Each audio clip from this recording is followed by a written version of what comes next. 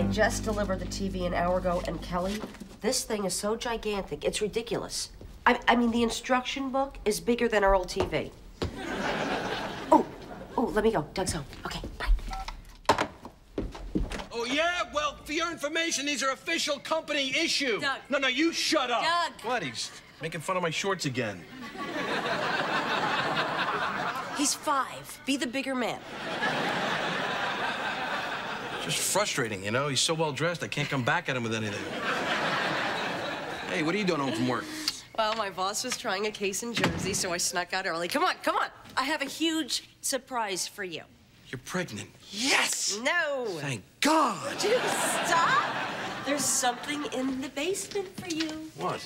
Oh, something I arranged to have delivered today, three days early. You're not, you're not, you know, I mean, That's correct.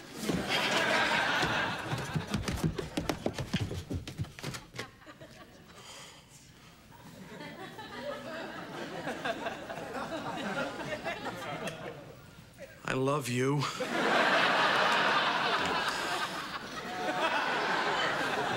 and I know in time you'll learn to love me too.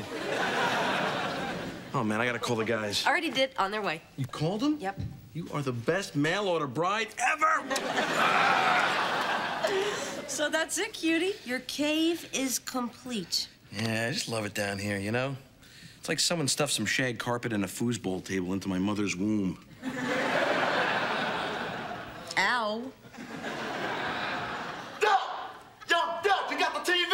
Yeah, it's down here!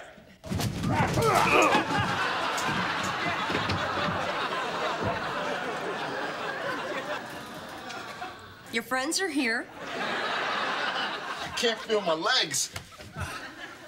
Damn, that's a nice TV.